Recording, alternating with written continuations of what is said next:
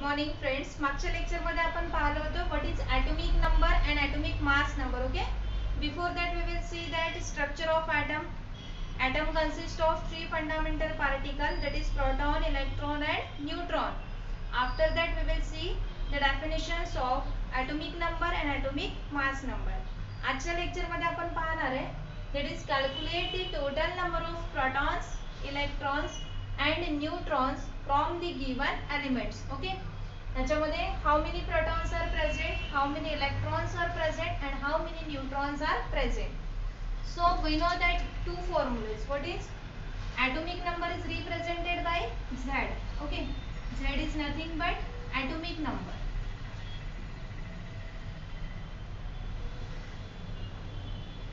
and a it is called as what atomic mass number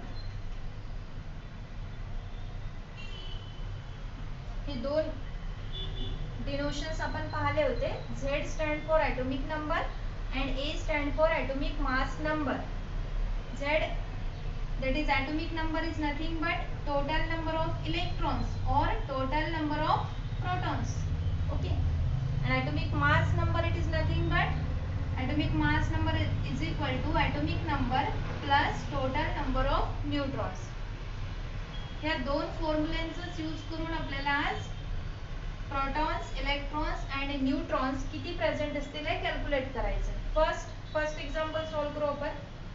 This one so hydrogen one one what is the atomic number of this hydrogen? 1 very good. So here atomic number equal to 1 and atomic mass number? This one. Atomic number always written at the bottom of element atomic mass number at the top of element so here atomic mass number is equal to also 1 atomic number is nothing but z and atomic mass number it is nothing but capital A so we know that atomic number or simply we can write here atomic number that is z equal to 1 and atomic mass number that is capital A equal to 1. So calculate total number of protons, electrons and neutrons. जेवढा atomic number असतो तेवढेच त्याच्यात काय present असतात? Electrons आणि जेवढे electron present असतील तेवढेच त्याच्यामध्ये प्रोटॉन्स राहतील. Because electrons and protons they are same okay always same number of they are that electrons are protons are not same हा एक्झॅक्ट मिनिंग नका घेऊ बोलण्याचं. I mean to say that total number of electrons and total number of protons present in the atom they are the same. That number is same. जेवढे positive charge असतील तेवढेच negatively charge electron त्याच्यात present राहतील. So here Z is equal to one म्हणजेच total number of electron किती आहे?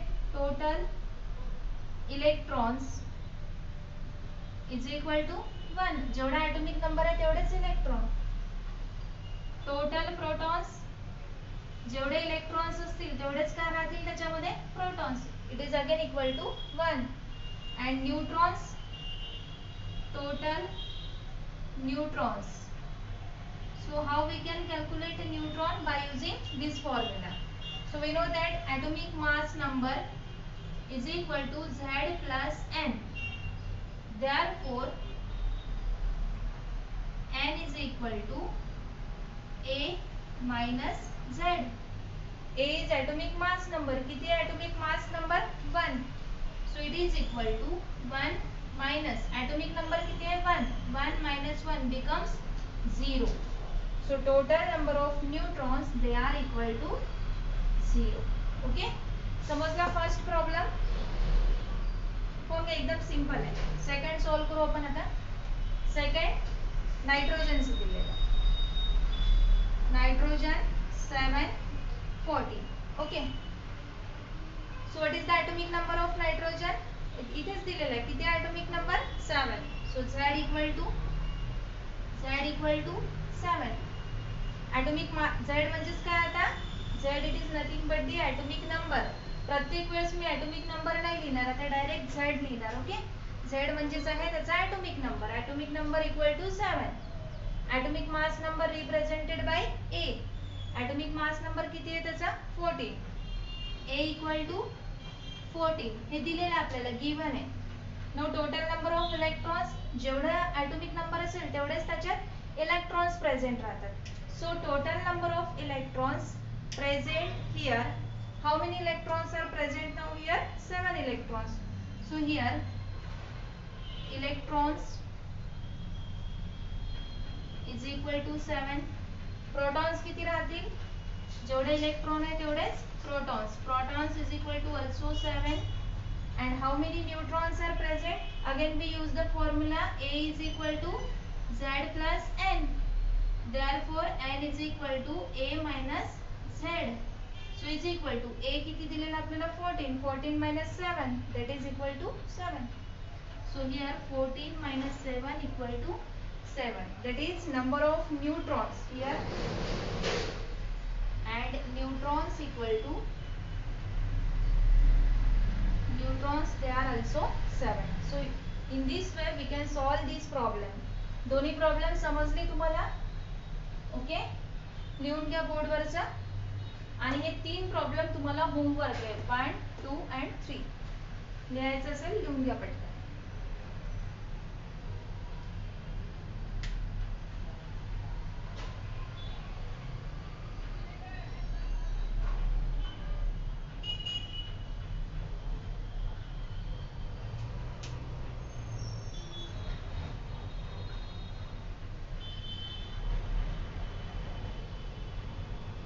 Okay?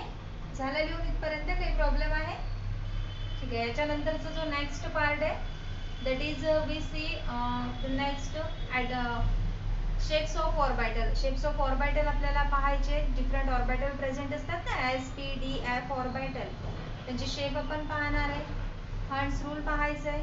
Hund's rule नंतर आपल्याला अगेन पाहायचं आहे Aufbau principle and after all these then we can see the electronic configuration हे सगळं आपल्याला समजलं की याच्यानंतर आपण मेन टॉपिक पाहणार आहे आपला इलेक्ट्रॉनिक कॉन्फिगरेशन ओके तोपर्यंत तुम्ही हे एवढं सगळं जे तुम्हाला रोज शिकवलं जाते त्याची प्रॅक्टिस करायची. जे होमवर्क असेल होमवर्क कंप्लीट करायचं आणि काही प्रॉब्लेम असेल तर विचारायचं ठीक आहे? येस ठीक झालं लिहून? Okay happy learning